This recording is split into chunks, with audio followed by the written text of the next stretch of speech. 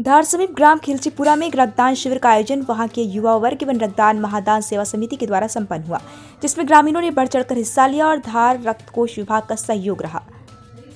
मुकेश जी, राधेश्याम राम और गुलाब वसूनिया के साथ युवाओं ने बढ़ चढ़कर हिस्सा लिया।